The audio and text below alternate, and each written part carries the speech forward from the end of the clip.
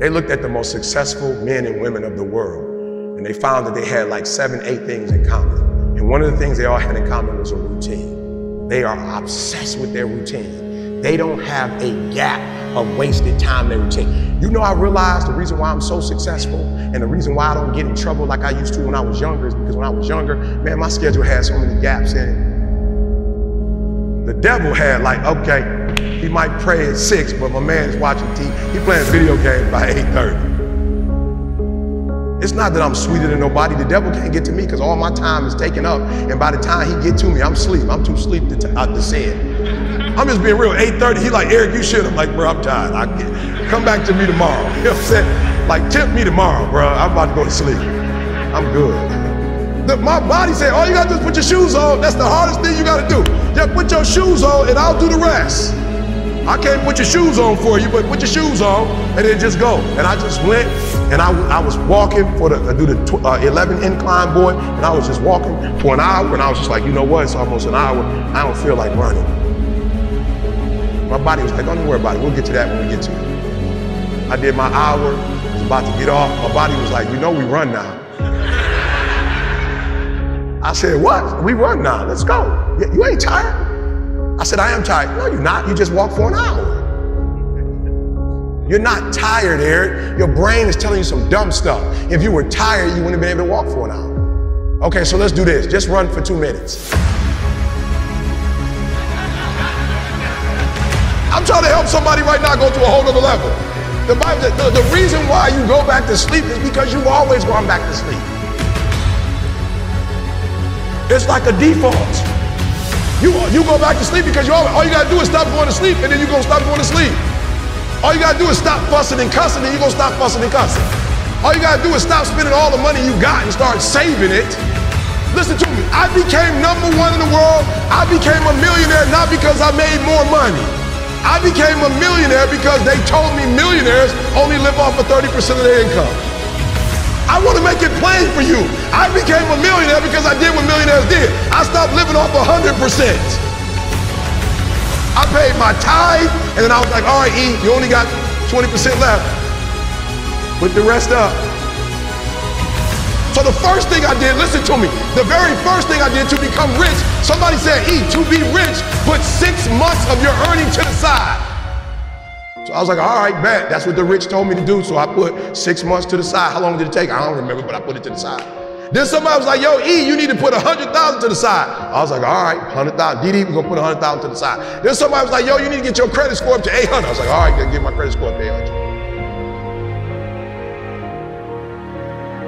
Then somebody said, ET, if you want to be Tony Robbins, there's no way you'll be able to be like those dudes when you don't have the language they have. You need to go get your master's and a PhD from the right institution. I said, what? I went to Oakwood. I went to HBCU. He was like, yeah, but you didn't learn the language of Zig Ziglar at Oakwood. So Oakwood is a phenomenal place. Oh, y'all not hearing what I'm saying. I just said something, you missed it. Now you need to go to Michigan State University. CJ, where's my, you see my master's degree anywhere? What about my PhD? Not in the office, not at church. You ain't seen it in my house. I didn't go to Michigan State to get a PhD. I went to Michigan State to learn the majority language.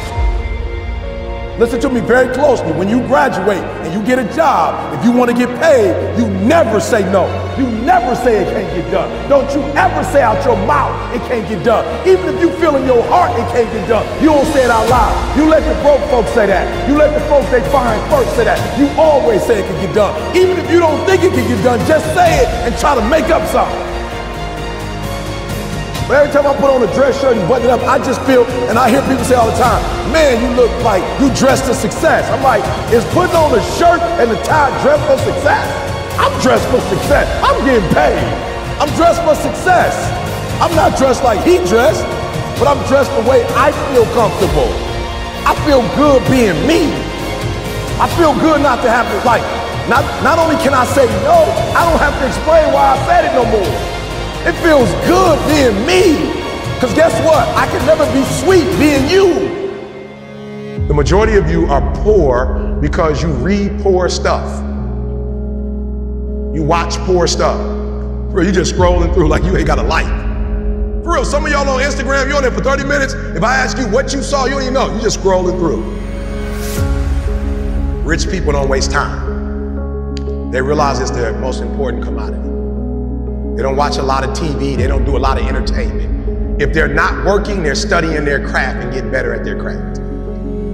So I need you to stop having the poverty mindset. So when I quit my job to be an entrepreneur, my mom was like, whoa, what are you doing? I was like, I'm quit. My mom was like, don't you dare quit. You're going to embarrass me. You got a wife and kids. Does YouTube have insurance? Does YouTube have a 401k? And I was like, yo, mom, I ain't trying to be funny and I ain't trying to be disrespectful. I love you. But you can't teach me how to be a millionaire because you're not one. You come from the working class, and I'm not mad at you, mom. We wouldn't be where we are without you. But you told me that every generation is supposed to get better. So I'll take your values, but I won't take your work ethic. Because rich people don't work, they think. Poor people go, clock in, I make this much an hour. Rich people go, I put them to work, and I make this much an hour. See, what happens is you're working for you and your family one, they got 40 of you working at one time. So they're giving you 20%, and then they keeping the 80% off of 15,000 people. So what you have to decide is, are you gonna keep being the 99% or are you ready to be a part of the 1%? Because it doesn't make a difference where you come from high school dropout. It doesn't make a difference where you come from GED.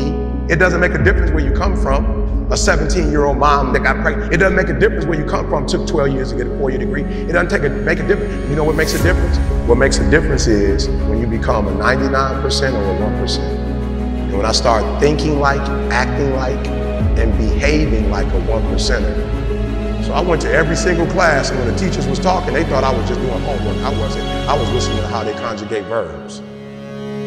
I was listening to how they tell stories. I was like, ooh, they, ooh, I peeped it out, y'all. They way more linear. So that I realized when you do corporate, it's A, B, C, D, E, F. It's one, two, three, four, five. It's topic, body, body, body. It's topic, support, support, support, conclusion. I need your language though if I'm gonna compete. I need your rules if I'm gonna compete.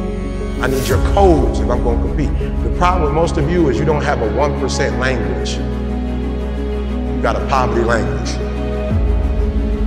There was a language that I needed to learn. Does it, does it mean I need to abandon the, learn, the language that I learned? Absolutely not. Don't be average, like for real, for real. Whatever it is you do, like do, like do it, do it, and take a different perspective. Listen to me very closely. The problem I have with most kids, if I tell you what it takes, most of you will die of exhaustion. You pass out before you reach 10,000 hours. You just pass out. You don't got the heart for it. You just don't have, you don't have the stamina for it. You just, you couldn't take what it really takes. Just for those of you who don't know, when they came from Africa and were enslaved, they didn't move them to San Diego. They wasn't doing time in San Diego. I just want to give you some perspective. They were in Mississippi, Alabama. It was smoking hot, and they didn't quit and they didn't give up because they said, we're going to get through this for the next generation. Come on. Our Latino brothers and sisters who were migrant workers, they, come on, they in the heat. There wasn't no AC. And the stuff that y'all complain about, the stuff that y'all think is like hard,